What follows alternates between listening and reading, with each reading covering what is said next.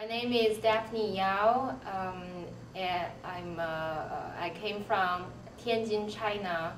Uh, Tianjin is a city uh, about 45 minutes uh, by train from Beijing.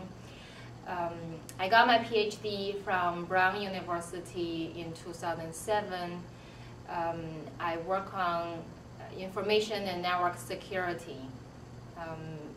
My main research focus right now is for detecting malicious software, um, programs that are intentionally um, steal your personal information uh, or launch network attacks. I chose computer science um, because I love uh, design.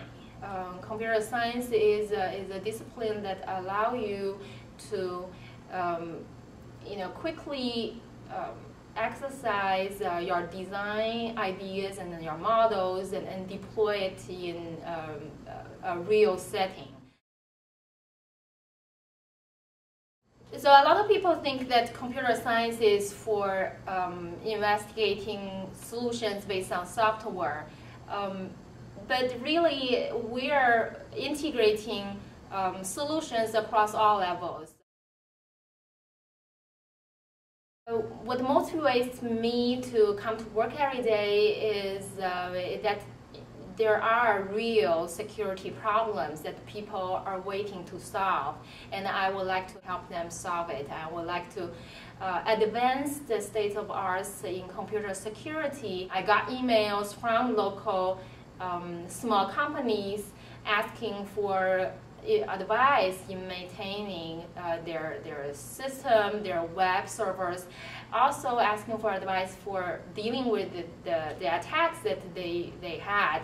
Um, and there are real threats and, and the real adversaries, there are uh, real attackers out there uh, trying to infiltrate um, computers, uh, including individual PCs or government servers.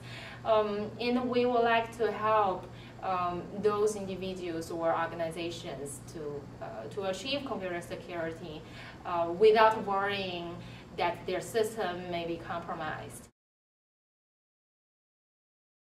We want to, um, on one hand, introduce to students um, the real issues and the real challenges um, and the real solutions um, in the world that, that has been uh, going on that uh, involve computer science. On the other hand, we also want to um, teach students the abstract concept and models that will enable them to design and invent new solutions and new techniques uh, when they graduate from here. Most people run um, Symantec or Norton antivirus uh, softwares.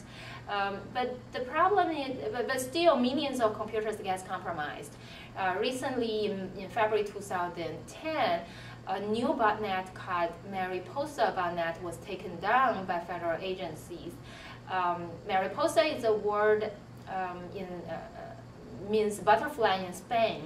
Uh, this bot, uh, botnet, botnet uh, refers to this uh, army of zombie computers remotely controlled by a cyber criminal. The cyber criminal uses the, the botnet to steal personal information or launch internet attacks.